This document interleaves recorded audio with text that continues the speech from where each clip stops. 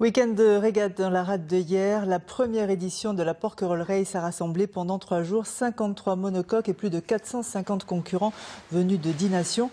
Le vent s'est montré parfois un peu capricieux, mais les conditions étaient idéales pour admirer les voiliers. Jean-Manuel Bertrand, Xavier Schuffenecker.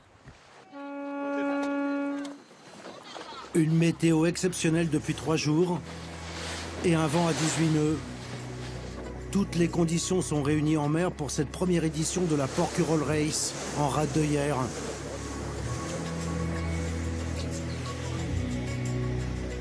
Ce nouvel événement qui figure au calendrier du championnat UNCL Méditerranée s'inscrit dans la succession de la semaine de Porquerolles, une classique du genre pour tous les initiés. Il y a 53 bateaux qui sont présents euh, pour cette édition. Je rappelle, c'est la première édition de cette euh, Porquerolles Race, puisqu'en fait, c'est une nouvelle, euh, épreuve organisée par le, Yacht Club de Porquerolles.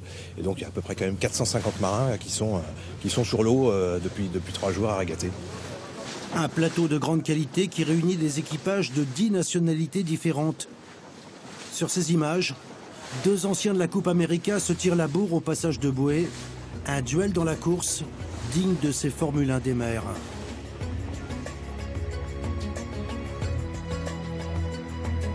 Sur l'ensemble de la flotte aujourd'hui, vous avez à peu près euh, quatre euh, catégories différentes, à peu près quatre catégories de bateaux différentes, donc quatre classements différents.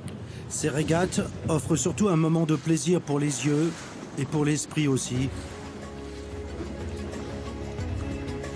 Chaque voilier compte une douzaine d'équipiers qui agissent à bord comme des métronomes. Chacun a son poste déterminé à bord. Il y a ceux qui sont là pour embraquer, il y en a qui sont là pour euh, euh, les wincher, il y en a qui sont là pour envoyer le spi, etc. Chacun a son rôle très précis à bord. Il y a une, toute une discipline et il y a un entraînement. Des skippers qui ont pris plaisir à régater dans un cadre exceptionnel autour des îles d'Or. Cette première édition, avec un plateau très relevé, connaît déjà un vrai succès.